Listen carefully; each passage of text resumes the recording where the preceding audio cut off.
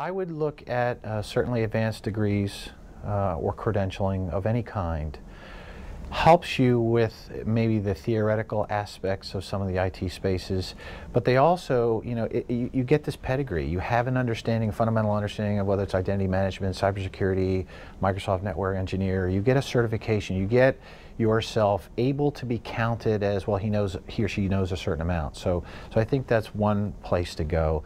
I think some of the professional organizations are a great place again a to network and b to learn things. Because this is you know you, you got to get it through your head these young people that you're going to continue to learn throughout your career and you have to actually want to learn and go out and find these folks so they become a networking environment for you as well as a professional resource because when you want to move from job to job to job in theory you're going to climb here or there.